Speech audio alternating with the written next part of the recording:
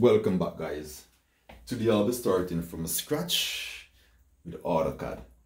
Uh, before we start in AutoCAD, there are five things that we must do to be able to draw efficiently and effectively. The five things are, the first one, we should select a template. And uh, a template is basically, uh, in some cases, it can be a pre-bordered sheet or it could be a plain sheet, ACAD, ACAD ISO, or several others. So we must set those. What I'd like you to do is to pause this video and take note of these, of all five settings that you must set up before you start drawing. So let's pause for a bit, allow you to write these down.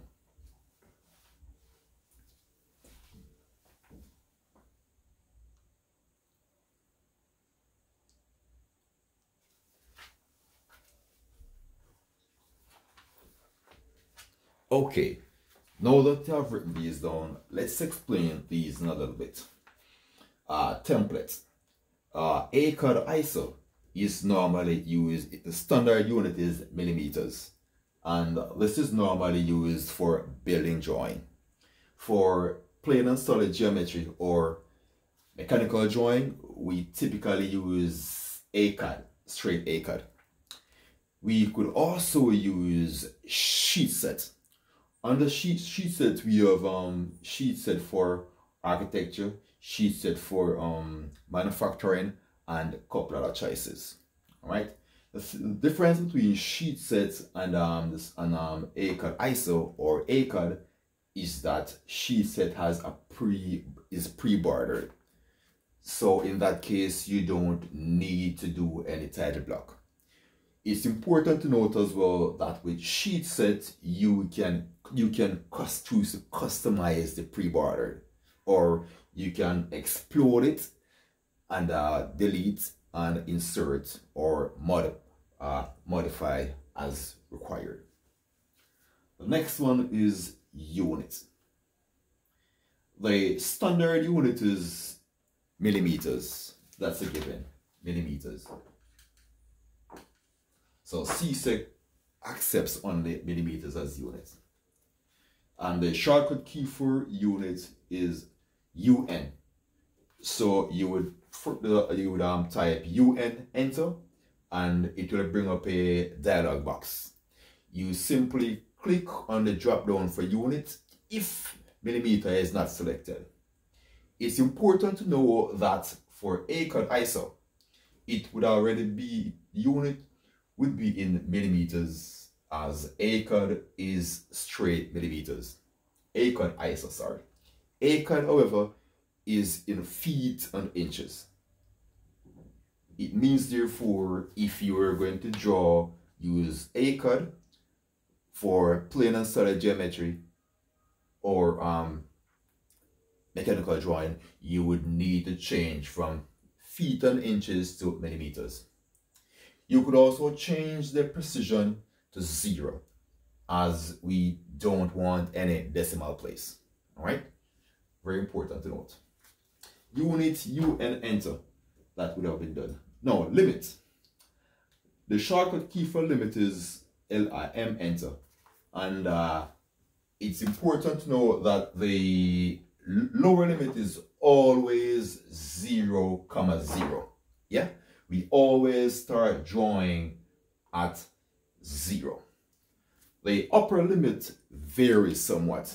Uh, the, it depends on the size, the actual size of the drawing. A typical example is this. So limit is basically an imaginary rectangle that we establish. So say for example, we wish to draw this, all right? your limit should be your limit should be such that this can fit into it all right?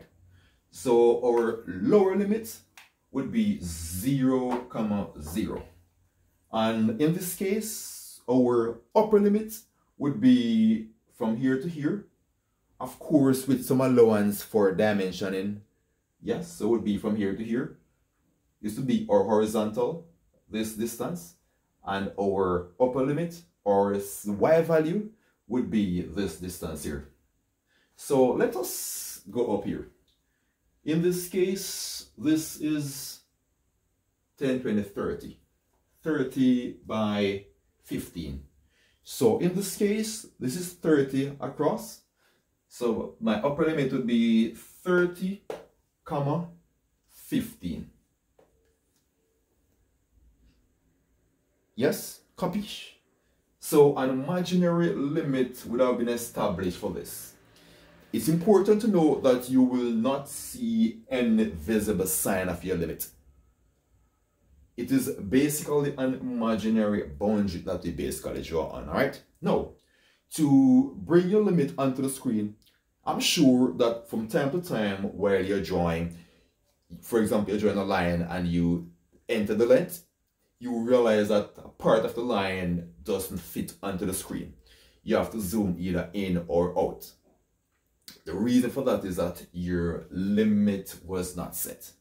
Now, upon setting this limit, you must do something very, very important. You must bring that limit onto the screen.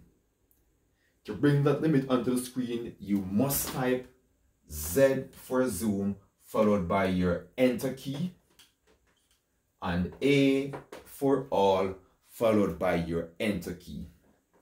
So it's Z enter A enter and that will bring the limit to, to fit onto the screen. Yes, very, very important.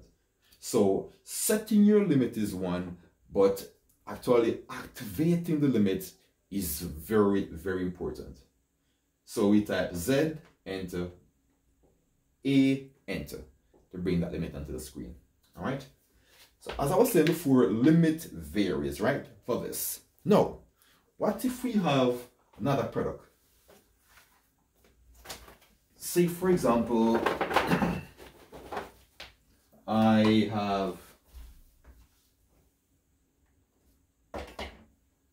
this. I have this. I'm trying to, I'm trying to draw this.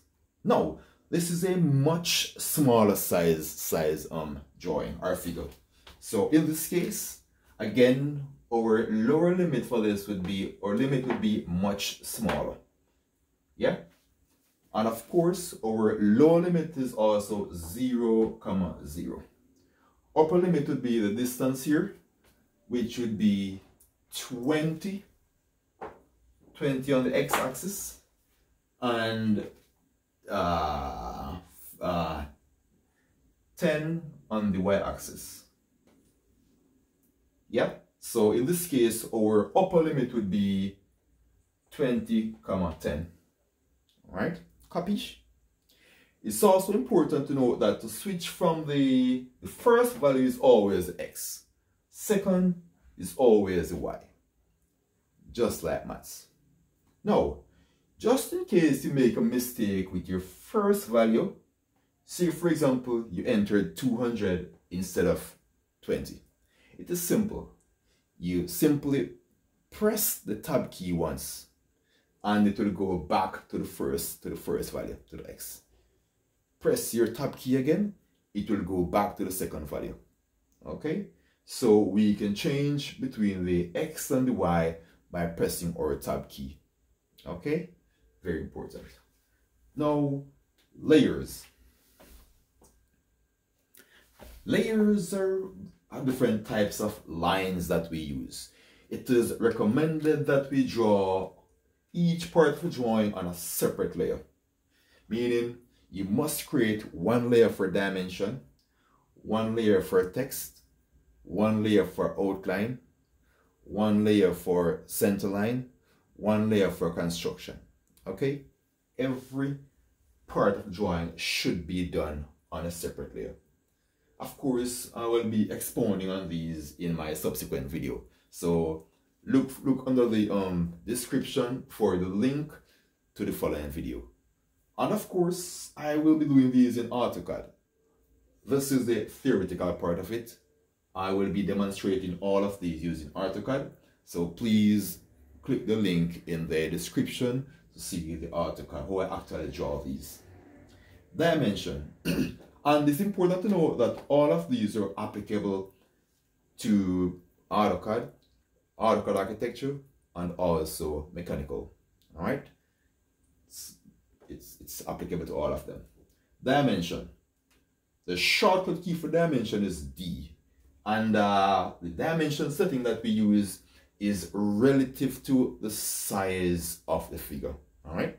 Because, for example, if we are dimensioning this, we would need smaller dimension settings like smaller size arrows, smaller size offset from origin, smaller size text for this. All right. As opposed to a larger object like this.